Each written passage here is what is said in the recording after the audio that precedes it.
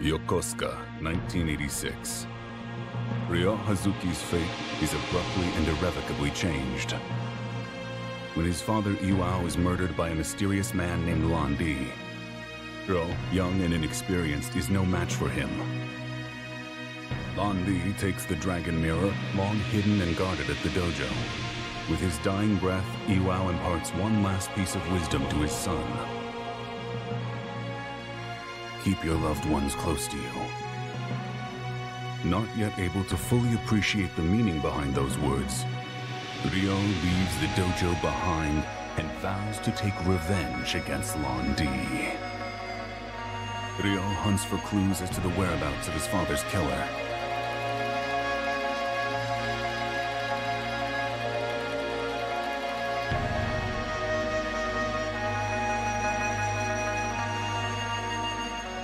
A letter arriving all too late warns of encroaching danger. Its contents point Ryo towards a certain Master Chen, who reveals the existence of a second mirror.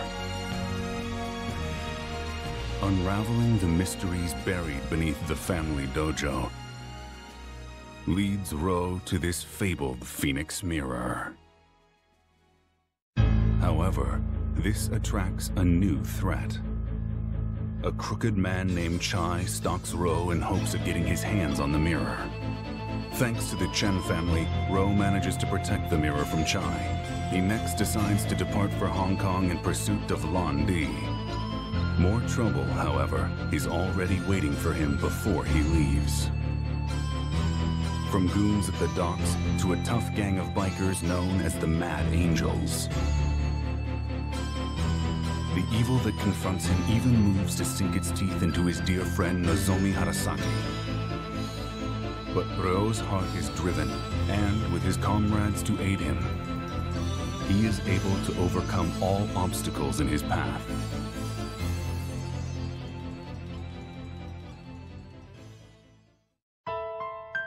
The waves lapping against his home shore tell Ryo he must now leave Japan to continue his quest.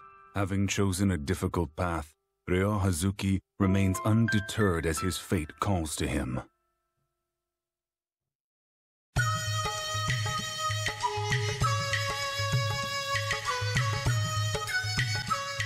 He arrives in Hong Kong.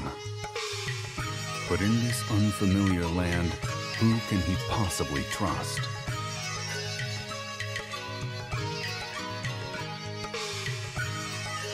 When his money is stolen and he is left destitute, he turns to the kindness of a young woman named Joy. He finds himself wandering the streets of Wan Chai to arrive at Man Mo Temple. There he meets Xiuying Hong, who claims to know something as to Lan Di's whereabouts.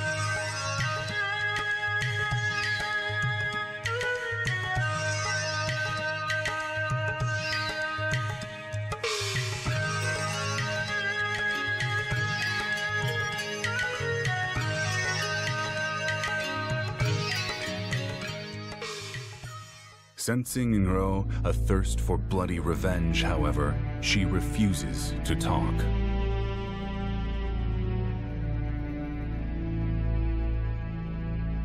Instead, she attempts to dampen the flames of his rage through instruction, but her efforts prove in vain when Ryo meets with a man named Ren Wu Ying.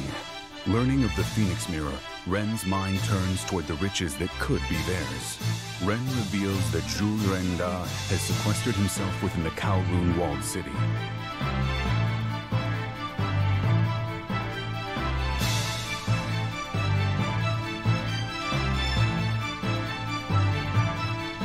But what waits for them in Kowloon is Dou Niu and the Yellowheads, a gang of brutal fighters in service to Lan Di.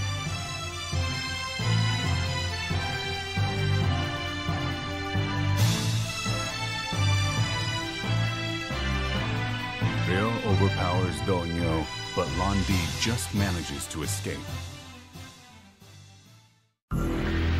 Ryo learns that he has made for Guilin.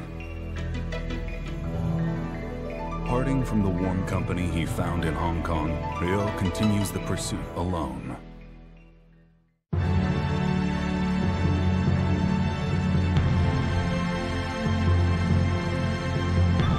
In the backcountry of Guilin, Ryo encounters a young lady named Shen Hua. This twist of fate will change everything for him and for her as well.